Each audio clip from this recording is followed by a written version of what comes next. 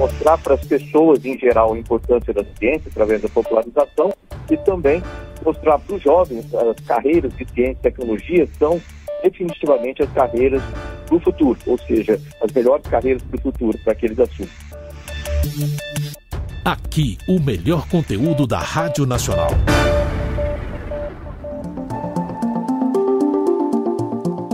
Olá, sou Walter Lima, sou âncora do Revista Brasil e estou convidando você para acompanhar essa entrevista muito interessante que fizemos com o ministro Marcos Pontes da Ciência, Tecnologia e Inovações. E a nossa conversa girou em torno de motivar as nossas crianças eh, em relação à ciência, como também nós conversamos a respeito das políticas públicas voltadas para manter as nossas inteligências também aqui no nosso país. Não ocorrer, portanto, fuga de brasileiros que buscam outros países na melhoria das suas condições de trabalho. Então foi uma conversa, realmente uma entrevista muito boa. Estou convidando você para participar. Tá aí o convite. Ministro, seja bem-vindo ao programa. Muito obrigado ao senhor pela atenção. Bom dia, ministro. Bom dia, bom dia. É um prazer falar com vocês. Prazer é todo nosso. Pois bem, de hoje até o próximo dia 10, no Parque de Exposição da cidade, aqui em Brasília, começa a 18ª Semana Nacional de Ciência e Tecnologia. Aí eu pergunto ao senhor, essa Semana Nacional de Ciência e Tecnologia está entrando na sua 18ª edição, ou seja, quase duas décadas incentivando crianças e adolescentes em torno das profissões do futuro na área da inovação tecnológica. Diante dessa contribuição, ministro, que todos os anos a ciência e tecnologia promove é possível dimensionar o seu resultado prático entre a nossa juventude? Não, sem dúvida. Eu, essa é uma área que eu tenho um grande carinho, um grande, por isso é uma grande prioridade do Ministério. Quando eu cheguei na minha gestão, eu criei uma secretaria voltada para a popularização e promoção da ciência, que é a Secretaria de Articulação e Promoção da Ciência, é, justamente pela importância disso. Você vê por exemplo, da onde eu sou oriundo lá da NASA, ela tem um vice-administrador justamente para os programas de outreach, que são esses tipos de programa, né? Aqui no Brasil, eu participei, para você ver, da primeira edição da Semana Nacional de Ciência e Tecnologia, eu estava lá no trem da ciência, no Rio de Janeiro. É, foi uma coisa muito interessante participar e você vê o resultado disso quando você conversa com jovens e muitos deles escrevem ou vêm falar com a gente, falar assim, puta, eu participei disso aí, hoje eu sou engenheiro, hoje eu sou médico. Então, isso é importante, mostrar para as pessoas em geral a importância da ciência através da popularização e também mostrar para os jovens as carreiras de ciência e tecnologia são definitivamente as carreiras para o futuro, ou seja, as melhores carreiras para o futuro, para que eles assumam. Agora, ministro, o senhor sempre falou com entusiasmo que a ciência e tecnologia é transversal. Em que sentido essa transversalidade impacta nas ações do governo, especialmente nas áreas da saúde, agricultura e defesa? Nossa, nós temos muitos exemplos. Né? O Ministério, eu coloquei isso como uma das diretrizes da minha gestão lá no início, da, vamos dizer assim, da localização do Ministério, primeiro com a missão de produzir conhecimento, produzir riquezas e contribuir com a qualidade de vida das pessoas.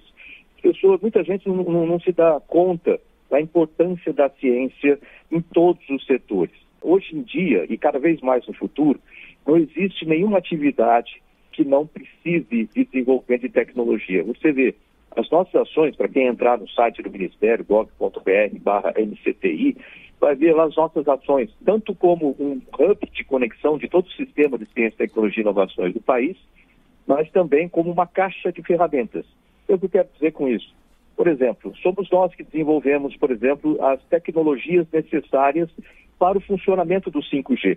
Porque só o 5G sozinho não faz muita coisa. Você precisa ter antenas, precisa ter o desenvolvimento nacional de internet das coisas. Nós criamos, por exemplo, o Plano Nacional de Internet das Coisas, com quatro câmaras super importantes em agro 4.0, indústria 4.0, cidades inteligentes saúde 4.0, e agora tem o turismo 4.0 também. É uma série de ferramentas e equipamentos que são desenvolvidos para diversos setores. Então, no agro, por exemplo, todo o sistema de antenas, todo o sistema de sensores para a internet das coisas, para movimentação de veículos, etc. Sistemas de precisão para irrigação, bioinsumos para a agricultura, para o Brasil ser mais independente disso. Na saúde, nós temos inúmeros desenvolvimentos agora com a pandemia, desde biosensores, né, que são testes diagnósticos nacionais, 100% nacionais, para a Covid, são eficientes, rápidos, com inteligência artificial, com biosensores, mesmo com enzimas para PCR, novos medicamentos nós desenvolvemos também, assim como vacinas completamente nacionais, ou seja, nós estamos em todas as áreas. Aí quando você olha, você sempre vai ver uma mãozinha ali da ciência e tecnologia. Agora, ministro, sempre se associou o jovem nessa área de tecnologia e inovação com mais interesse em ações lúdicas, ou seja, através das diversões que a ciência proporciona. Aí eu pergunto: é possível, através desse método de incentivo, é possível fisgar a criança e também o adolescente para que ele seja dedicado ao estudo e, evidentemente, também lhe dar condições para que seja um cientista no futuro? Não, sem dúvida. Aliás, eu quero ressaltar que essa Semana Nacional de Ciência e Tecnologia, como você falou aqui no Parque de Exposições, lá do Parque da Cidade, que vai aqui em Brasília, vai do dia 3 ao dia 10, das 8 e meia da manhã até as 7 da noite, e é gratuito. E qual que é a intenção disso aí? Os jovens, quando vão, eles colocam a mão na massa, tem oficinas, eles começam a ver a ciência, começam a tirar aquele estigma negativo, falam, assim, pô, matemática é difícil, ciência é difícil. Não, não é. É muito simples, está ao nosso redor eles começam a perceber isso. Mas lembre que isso é um sistema, então a gente precisa, junto com isso, a preparação, a formação de professores de ciência, a melhoria da infraestrutura, levar os jovens para dentro dos laboratórios, os laboratórios para dentro das escolas, com isso, nós temos um programa também que chama Ciência na Escola, que é justamente isso, é formação de professores de ciências, é levar as escolas para dentro das unidades de pesquisas, nos laboratórios, com contato com cientistas. E os jovens adoram. Quando você fala de, dependendo da idade, quando você fala de arqueologia, dinossauros, essas coisas, eles ficam fascinados quando você fala de foguetes, quando você fala de programa espacial como um todo, de robótica, também outra coisa que chama muita atenção, computação. Então tem muita coisa bacana em ciência que as crianças vão aprendendo, né? Aliás, aqueles que forem em Brasília, na Semana Nacional, a dica é levar duas garrafas PET para fazer os seus foguetes de água lá, que vai ter aquelas grandes né, de dois litros, vai ter aí bastante diversão. E tem muitas outras oficinas interessantes, desde robótica até um foguete gigante lá montado para o pessoal escorregar. Quer dizer, é importante, né, ministro, aguçar a curiosidade do jovem, mas esse jovem então sendo fisgado no futuro, de que forma o senhor pode nos trazer detalhes sobre a política de manter a nossa inteligência trabalhando, se dedicando aqui em nosso país para que não haja, portanto, a sua fuga para outros países? É isso que você falou, é um problema seríssimo. Né? Durante muito tempo, o Ministério de Ciência e Tecnologia e inovações, ele foi um tanto apagado, vamos chamar assim. Mas agora nós dedicamos bastante esforço, não só para divulgação, e também, obviamente, de muitos projetos importantes para o país. Para que você tenha interesse desses jovens como profissionais aqui no país, nós precisamos, obviamente, de projetos interessantes, e isso é uma coisa que o Ministério cuidou bastante. Nós temos projetos que vão de materiais avançados, como grafeno, nióbio, passando por toda a área de internet das coisas, inteligência artificial, biotecnologia, todas essas áreas, e muitas outras, né, é, energias renováveis, todas essas áreas são essenciais para o futuro e prometem aí carreiras muito boas, muito promissoras, temos satisfação pessoal e rendimento para esses jovens. Com isso, além dessa organização interna do Ministério, nós revitalizamos todo o Ministério nessa gestão, então ele está enxuto e muito vamos dizer assim, muito pragmático. E com isso nós temos resultados muito efetivos. Mesmo com a dificuldade de orçamento, se você for olhar a quantidade de entregas que nós temos, a quantidade de projetos que vão chamar muita atenção, inclusive para aqueles empreendedores que querem ser empreendedores, como o Programa Centelha. Nós estamos na segunda edição, praticamente no país inteiro, esse programa ele incentiva aquelas pessoas, olha, eu tenho uma ideia de garagem, ou é um pesquisador dentro da universidade, ou é um jovem na universidade, eu quero transformar essa minha ideia num negócio. nós temos como ajudar. E nós temos vários programas, o Startup Brasil, nós colocamos toda a parte de inteligência artificial, com seis centros de inteligência artificial, agora entra um centro de tecnologias para pessoas com deficiência, centro de tecnologias para energia renovável, ou seja, está muito bem organizado. Agora, com a entrada do FNDCT no ano que vem, a liberação do Fundo Nacional de Desenvolvimento Científico e Tecnológico, vai entrar recursos para que esses projetos tenham todo sucesso, que a gente mantenha os nossos jovens aqui no Brasil produzindo muito no nosso país também. Falar de jovem é sempre muito importante, né, ministro? Inclusive, aguçando a curiosidade uh, das nossas crianças para, quem sabe, no futuro possamos ter aí mais um astronauta, né, ministro?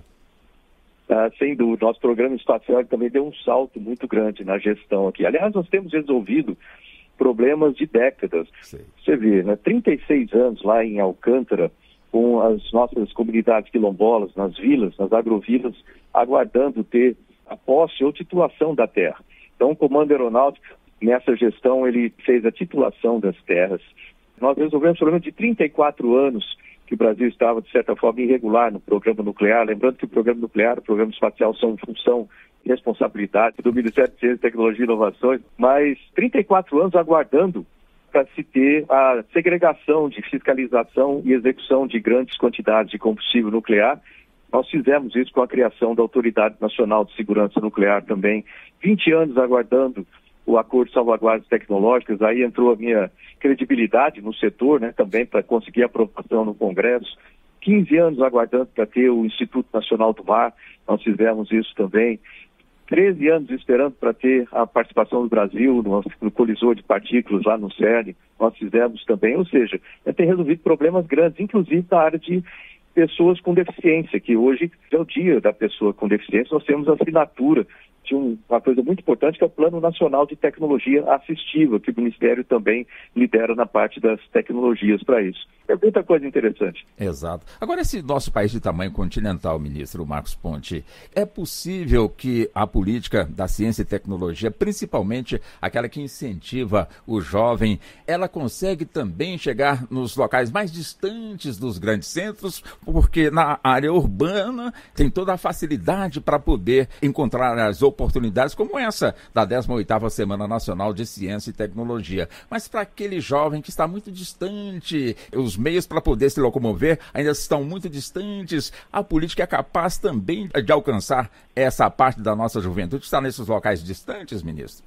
Ah, sem dúvida. Eu, quando tinha, até, até 10 de junho do ano passado, eu tinha o Ministério das Comunicações comigo. Uma das minhas prioridades era, vamos dizer assim, iluminar com internet em toda a região Nordeste e a região Norte e o Centro-Oeste por causa do agronegócio. Então, quando eu entreguei para o Fábio Faria, né, já estava todo esse projeto todo montado, que era o MCTIC Conecta Brasil, já com recursos e o projeto iniciado. Então, a ideia é levar internet para esses lugares mais distantes. Lembrar que a gente tinha um satélite geoestacionário de defesa e comunicações lá no espaço desde 2017, só com 12 pontos conectados. E a gente conseguiu desenrolar isso aí, tanto na Justiça quanto lá no TCU. Em um pouco mais de três meses a gente já estava liberado e instalamos, quando eu entreguei, eu já estava com 12 mil pontos conectados, mais de 2 milhões e 500 mil crianças conectadas com isso. É, isso é um primeiro ponto. Outro ponto importante são as nossas Olimpíadas. Nós temos 62 Olimpíadas que nós apoiamos, e vocês precisam ver que bacana, né? Mesmo naquelas cidades pequenininhas, lá com toda dificuldade, você vê jovens de lá ganhando medalha de ouro em Olimpíada Brasileira de Matemática, de astronomia astronáutica, biologia. Aliás, conseguimos um resultado muito expressivo, né, mundial agora, primeiro lugar mundial em Olimpíada de Astronomia e Astrofísica. Ou seja, o Brasil tem progredido bastante graças a esse empurrão que eu tenho dado aí né, no Ministério com relação à, promoção da ciência. E uma notícia muito boa sobre isso é o seguinte: é, eu ajustei com o ministro João Roma, no Auxílio Brasil, agora tem a seguinte parte importantíssima para os jovens. É, e tem bom resultado em Olimpíada, né, dessas Olimpíadas científicas, são em primeiro lugar, exceto dentro, obviamente, do limite de orçamento, eles serão premiados né, com cientistas no CNPq e a família recebe mais mil reais. Ou seja, é aquele incentivo para o pai colocar o filho para estudar, que esse é o caminho feito através da ciência e tecnologia. É, que convite o senhor deixa para que quem tiver nessa oportunidade comparecer nesta 18ª Semana Nacional de Ciência e Tecnologia, ministro? Olha, eu gostaria de agradecer a oportunidade e, e convidar todos, primeiro, para entrarem no site do Ministério de Ciência, Tecnologia e Inovações, gov.br/mcti. Tem muita coisa interessante, às vezes a oportunidade de vida está ali para transformar sua ideia num negócio, numa startup, nessa nossa área de inovações. A Semana Nacional de Ciência e Tecnologia, a 18ª semana, ela começa hoje, dia 3, e vai até o dia 10. Hoje a abertura é às 14 horas no pavilhão de exposições do Parque da Cidade, em Brasília. É gratuito. As pessoas podem vir trazer a família, é muito importante trazer a família. Tem muita coisa para ver. Reserve o dia todo, porque tem muita atração, tem oficinas, tem oportunidades, vai conhecer o que são feitos né, em várias, tem vários ministérios participando também, e eu estarei lá também, na maior parte, aliás, na semana que vem, durante toda a semana que vem, eu transferi o meu escritório para despacho, para dentro do pavilhão, então eu vou estar lá a semana toda, os meus secretários também, então vai ser uma coisa muito boa para a família e para todos aqueles que querem ter sucesso na vida através do futuro que é ciência, tecnologia e inovações.